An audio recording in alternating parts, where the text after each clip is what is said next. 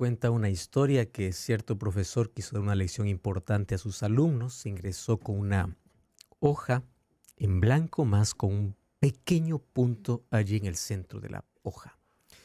De sus alumnos mostró la página o la hoja en blanco y dice, ¿qué cosa es lo que ustedes ven?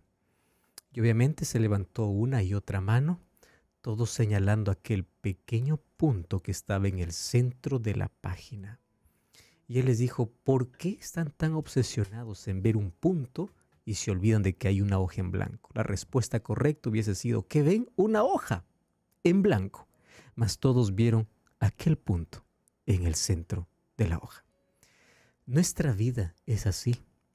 Olvidamos la página en blanco para centrarnos en un punto, en un solo punto. ¿Con qué lentes ves la vida? Hasta aquí hemos visto algunas distorsiones en nuestros pensamientos, más existe una más. Cuando el ser humano se enfoca en aspectos menores y excluye los mayores. La exclusión de lo mejor para centrarse en un aspecto insignificante hace que podamos ver la vida todo oscuro. Te voy a poner apenas algunos ejemplos y espero que a través de estos ejemplos uno pueda identificar si tiene este tipo de problema. Una profesional o una que se preparó para poder dar una sustentación de una tesis, se preparó para aquel gran día, investigó, luchó y finalmente llegó a conclusiones extraordinarias como para poder compartirlas.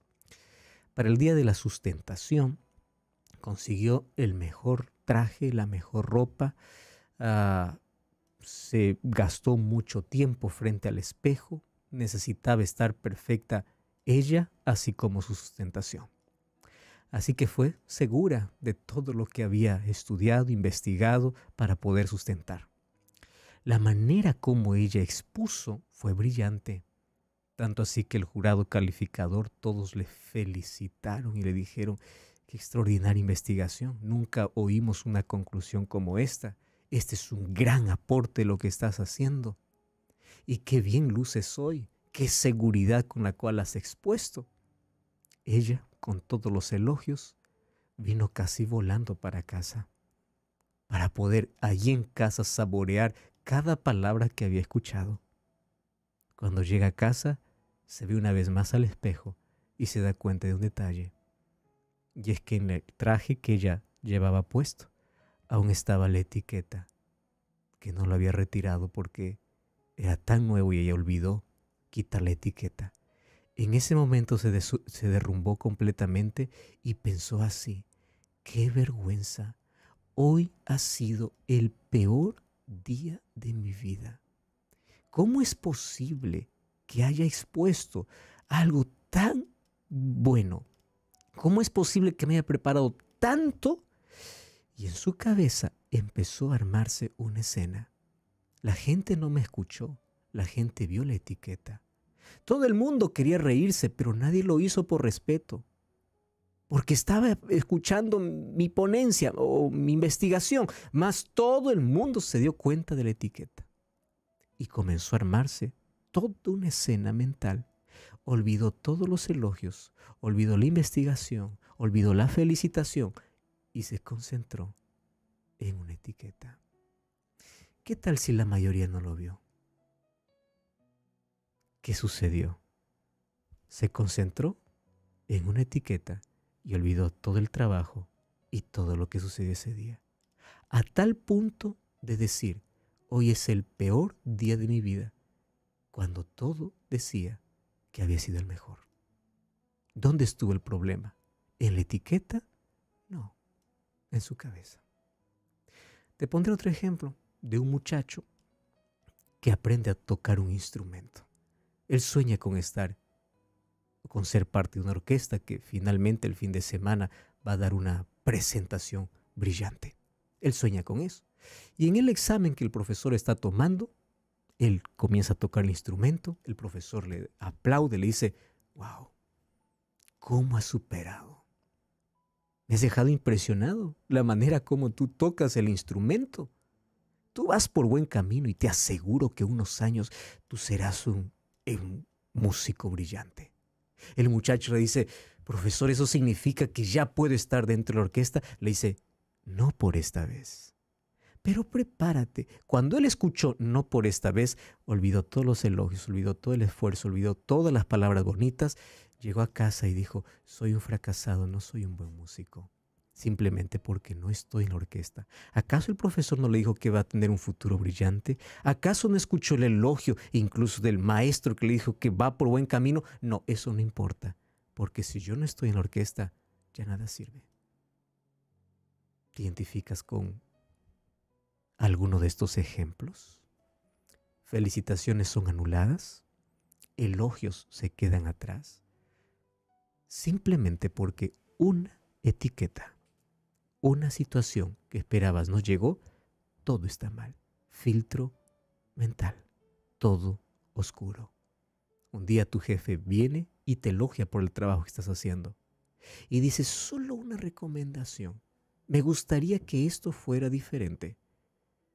Tú olvidas los elogios y dices, ah, vino para criticar mi trabajo. No vino para criticar, vino para elogiarte y vino para darte una recomendación, pero tú te concentras en la recomendación y lo llamas crítica, olvidando todo lo demás. Te centras en el punto negro y olvidas la hoja en blanco. El problema no está en la situación, el problema está en la mente. El problema no está en la etiqueta que te olvidaste de cortar. El problema no está en la presentación brillante que tuviste y el elogio que recibiste, está en que tu cabeza, tu mente, tu pensamiento se concentró solamente en una palabra, en un aspecto, en un punto, echándolo a perder todo. Y es que cuando nuestro filtro mental está sucio, todo está mal.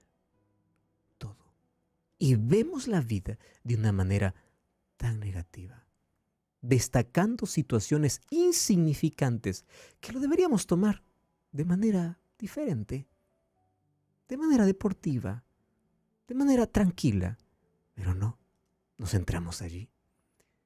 Nuestra, nuestro filtro mental sucio hace que la visión de la vida sea tan borrosa. No miremos lo que está al frente, nos centremos solamente en el aspecto que hoy estoy viviendo. Y es más, Puede ser insignificante, pero comienzo a maximizar. Y a partir de allí, no puedo tomar decisiones saludables. Mis emociones no están correctas. Mi cabeza puede llenarse de crítica, de prejuicios, de... Eh, en lugar de optimismo, todo puede ser pesimismo. No miro la vida con claridad, no avanzo con confianza y me siento atado y amarrado en la vida, a tal punto que todo lo que sucede, todo lo que me dicen, lo tomo de manera personal, pero solo del lado negativo, no del lado positivo, del lado negativo. Filtros mentales. Podemos ir de un extremo a otro. Filtros mentales no nos permiten ver el cuadro completo, porque nos centramos en un aspecto. Te voy a hablar del, del otro aspecto, por ejemplo. Esto puede ser peligroso para una relación romántica un filtro mental hace que vea a la otra persona en el enamoramiento perfecta y tenga una expectativa tan alta que cuando se case se quiebre ese filtro que tuvo y vea a la persona como es, realmente como es y venga a tener tanta decepción. Nuestras, las mayores decepciones en el matrimonio fueron filtros mentales equivocados. Viste solo lo que te convenía ver o por el otro lado, solo el defecto. Por el otro lado, ignoraste los defectos y viste solo lo que te convenía, solo virtudes. Cuando no tenemos un filtro correcto, nos vamos a cualquier extremo. Y allí vienen nuestras mayores decepciones. ¿Qué hizo que Sansón pudiera saber que las filisteas sean más lindas que la de su pueblo? Filtro mental. ¿Qué hizo que Natanael, cuando mire a Jesús, diga, de, Nazaret puede salir algo bueno. ¿Qué cosa tenía? Un filtro mental. Un prejuicio. De Nazaret no salió nada bueno. de ahí salen solo delincuentes, solo gente mala, filtro mental hace que pueda analizar las personas, analizar situaciones y mirar la vida de manera diferente. Muchos filtros tienen que ver incluso con nuestras propias creencias y nuestros prejuicios. Hablaré apenas de dos, que son los más comunes. Por ejemplo, el filtro del pesimismo, que es un filtro negativo. Hay investigaciones realizadas donde dice que una persona pesimista tiene más probabilidades de enfermar, incluso de morir, de enfermedades cardíacas. Y esto se ha hecho una investigación tomando en cuenta varias personas que tienen el mismo padrón de pensamiento negativo. Aparte de eso, el pesimismo deteriora el sistema inmune. Hay más riesgo de que una persona pesimista pueda entrar en un cuadro depresivo porque su salud física está en declive y su sistema inmunológico está débil. ¿Dónde vino todo ese problema físico? De un filtro mental, pesimista. Ahora, el optimismo tiene que ser equilibrado, porque hay otras personas que dicen, ah, yo soy positivo en todo. Cuidado con el, eh, con el optimismo desenfrenado, que es el otro el filtro que también nos lleva al otro extremo necesitamos tener un optimismo realista. Te voy a poner un par de ejemplos para que esto pueda quedar claro. Voy a imaginar que un pesimista se enferma de gripe. Cuando llega a tener la enfermedad, en su cabeza dice, me voy a morir porque ahora voy a tener, no sé, neumonía. Ya, yo estoy con neumonía, no estoy con gripe, estoy con neumonía.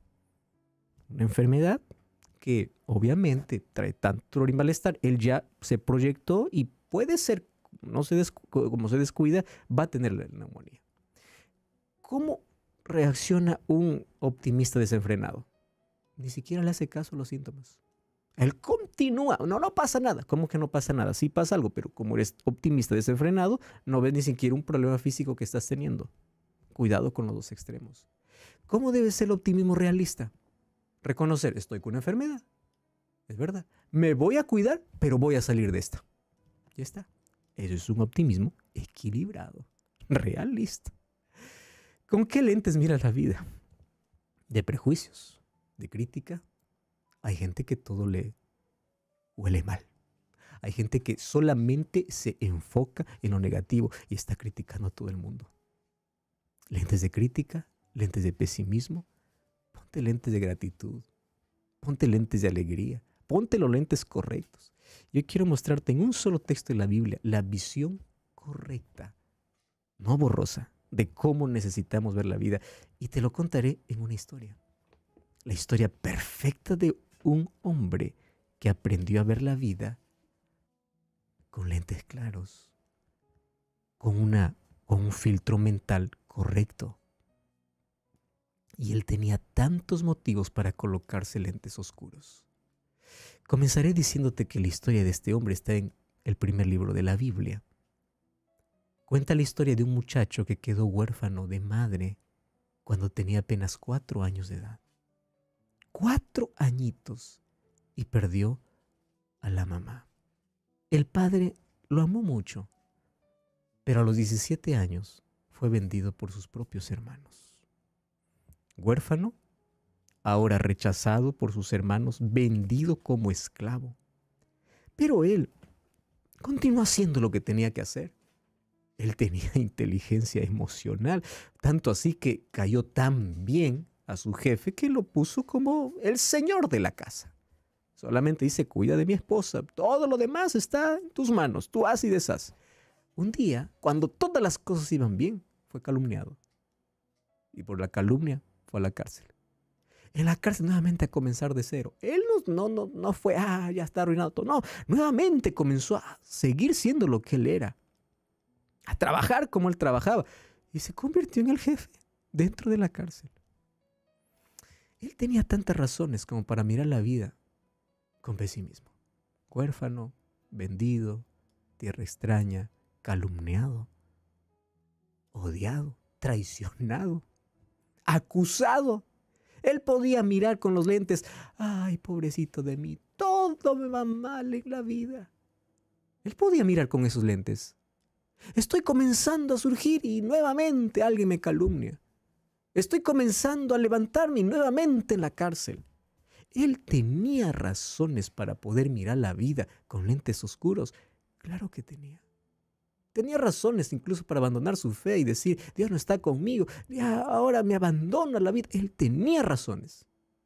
Pero un día se encontró con sus hermanos, cuando él ya era el gobernador de Egipto. Y un solo texto me llama la atención para abordar este tema. Génesis capítulo 50, versículo 20. Génesis 50, 20 dice así. Ustedes pensaron mal sobre mí, pero Dios lo encaminó para bien, para hacer lo que vemos hoy, para mantener en vida a todo este pueblo. Cuando Él perdona a sus hermanos, recuerda, Él los perdona y le dice, no se preocupe. Ahora, Él es realista. ¿Realista en qué sentido? No dijo, ah, no pasó nada, tranquilo. No, no, no. Él dijo, miren, la realidad es esta. Eso es tener un filtro correcto, no ir a ningún extremo, mirar las cosas de manera correcta. Ustedes pensaron en hacer mal. Él no excluye el mal que recibió. Pero aquí está la visión correcta. Dios lo transformó para bien. ¡Wow! Eso es mirar de manera realista el pasado, el presente y el futuro. Es decir, tener un filtro mental correcto es mirar el cuadro completo. No fijarse en la etiqueta, no fijarse en el punto negro, no fijarse en una situación, sino mirar el cuadro. Hubo una mancha, sí hubo, pero el cuadro completo es mejor. ¿Ustedes pensaron hacer mal? Sí, pero Él lo transformó para bien. Mirar de manera correcta es elegir el filtro de ver bajo el plan que Dios tiene para la vida. Él vio a Dios aún en la oscuridad, que Dios lo estaba guiando y Dios iba a transformar el dolor en bendición. ¿Recuerdas a Pablo y Silas en la cárcel? ¿Qué les hizo cantar cuando ellos estaban en un cepo, inmóviles, con las espaldas sangrando, inmovilizados y azotados? La visión equilibrada. Porque la visión equilibrada hace que tu cerebro libere sustancias que te traen bienestar, mejora tu ánimo, tienes un pensamiento claro, decisiones claras, decisiones mejores, mente tranquila, limpieza interior, hace que puedas mirar la vida de manera distinta. ¿Con qué lentes hoy estás viendo la vida? Hebreos capítulo 12 dice, puesto los ojos en Jesús, y para mirar a Jesús hay que quitar tantos filtros de nuestra mente, de nuestras experiencias, de nuestro dolor, para mirarlo a Él como es, independientemente de las circunstancias de la vida. Mira Jesús y con fe tus filtros mentales harán que puedan ser claros. Vamos a pedir que Dios pueda limpiar nuestro interior y que con lentes claros podamos mirar la vida. Ora conmigo. Gracias Señor por tu palabra. Limpia nuestro interior de prejuicios, de experiencias dolorosas y de pesimismo y de tantas cosas que nos impiden ver la vida de manera correcta. Ayúdanos a mirar con ojos de gratitud, sabiendo que tú guías todo. En el nombre de Jesús. Amén.